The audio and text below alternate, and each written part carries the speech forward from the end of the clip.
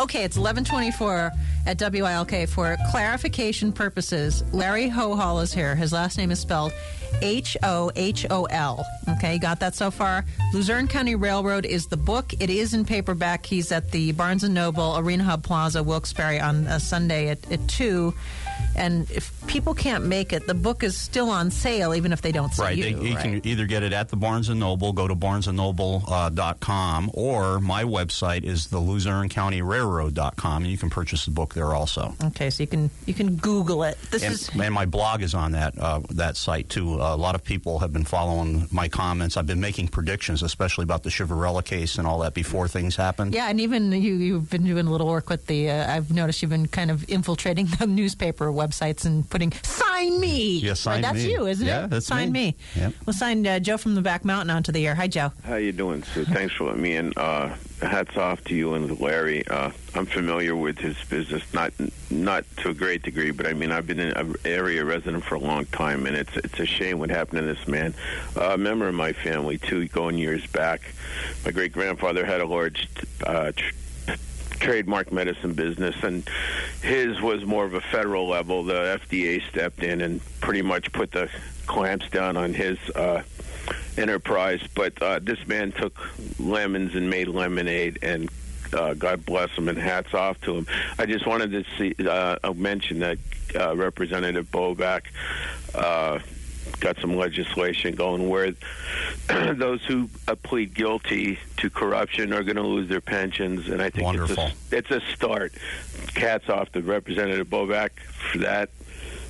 pardon me, because that's the problem in the whole country. As Larry said, it's not just here; it's in other Yeah. states. It's nationwide. You got that right, Joe. I have to, I have to let you go because we're so backed up. but as thanks, always, Phil. we appreciate it. This is Walter from Wilkes-Barre. Hey, Walter. Hi, uh, Larry. I was wondering on this Judge Capolini, uh, was his son uh, convicted or connected with drugs and al- alcohol not too long ago and found guilty and put on probation where he could put his probation out in uh, Arizona or Nevada?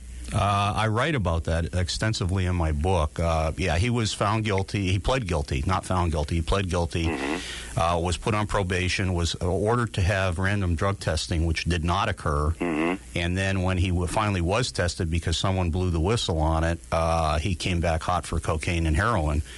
And then. Um, there was an attempted cover up in the probation office, which was exposed, and a probation officer was arrested, but at a later date found not guilty. I have to point that out.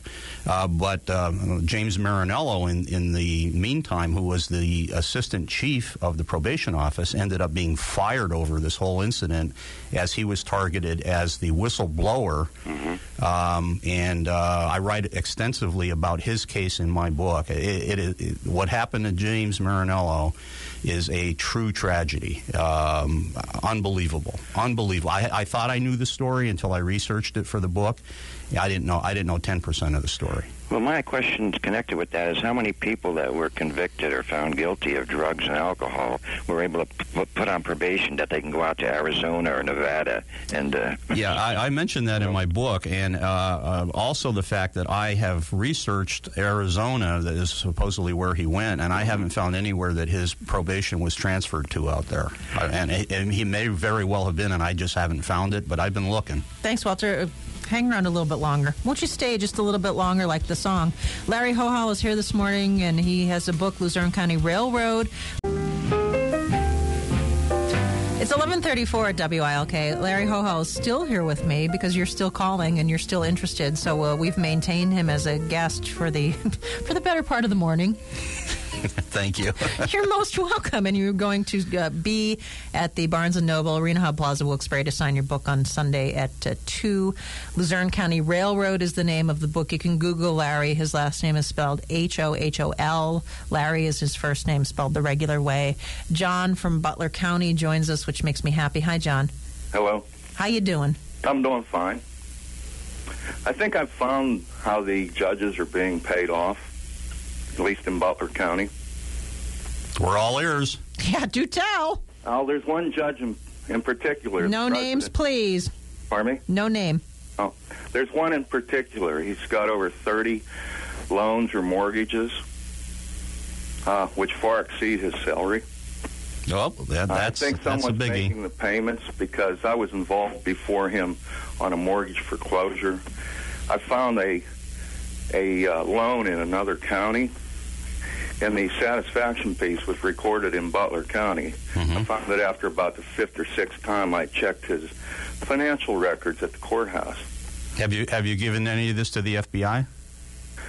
Uh, well, I just met with somebody last week who has come up with 30 of these transactions in addition to the 20 that I found Oh. several years ago. Okay. Uh, this individual was sending letters to the surrounding counties to send the juveniles to the uh, detention center in Emlenton. Um, you may want to speak to someone about this. Well, Uh, other than another individual who has done similar research, you may want to take together or gather the research and Sure. give it to. Would you have them call Philadelphia, or would you have them? Where would you have Scranton them? office of the call FBI. the would be Scranton great. office of the FBI. right, this is like an oc- a multi-headed hydra. It's an octopus. The arms reach Oh yeah. Well, everywhere. uh, again, uh, y y you, if you and someone else have done the homework and you can present it, then I, w- if I were you, I would take it one level further than just talking about it. Well, I have been singled out for ex- for extinction. They've ruined my business. Oh, yeah. They've taken my well, home. Larry wouldn't know about that because you know he lost what millions of dollars, Millions. millions, Millions. millions. Right. Yeah. So his his is You know, every similar. time I go to the courthouse to do titles now, you know, the goons are there. Well, you know, it, it it just makes my blood boil when I hear stories like this, and um, we need to just stop it. We And- have, it's it's Well, our th- job. This is, I've, I've been involved in 25 years of litigation. Uh, this same individual's been involved in incarcerating me, uh, issuing a bogus protection of abuse order so that the presiding judge in uh, my ex-girlfriend's divorce case could acquire her marital home and other property worth 2.5 million. Then he had the gall to send a 1099 to the IRS stating he bought it for $250,000.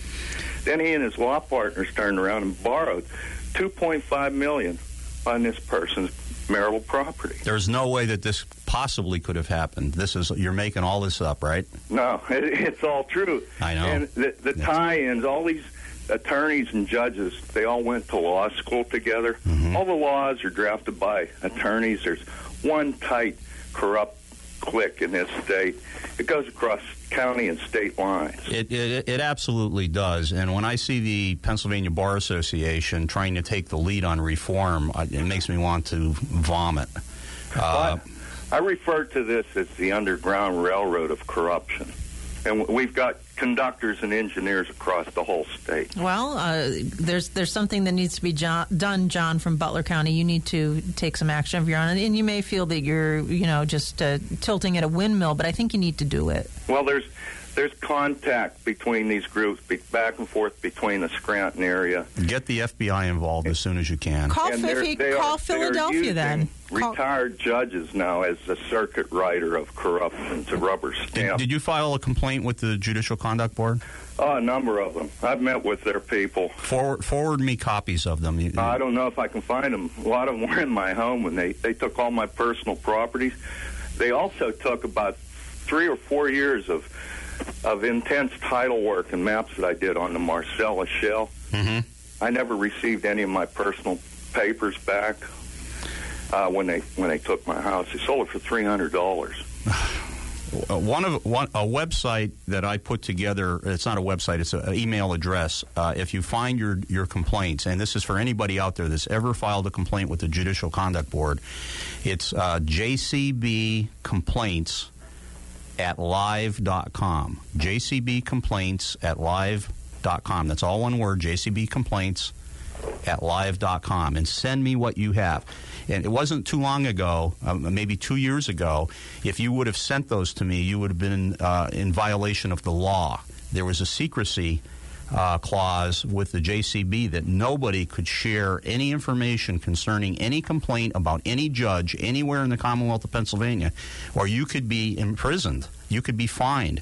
You could be a whole bunch of bad things could happen to you, and they did it to people. They weren't kidding around. They didn't want anybody knowing what was going on. And uh, a guy by the name of Gene Stilp uh, uh, posed that, and uh, went to a federal court, uh, Third Circuit, and got that uh, removed uh, as uh, unconstitutional. So now you can share that information. So Wilkes-Barre native Gene Stilp. Uh, John, best of luck. We will take the break. Stick around. You're listening on 910 in Scranton, 980 Wilkes-Barre, 1300 Hazleton, and 103.1 FM.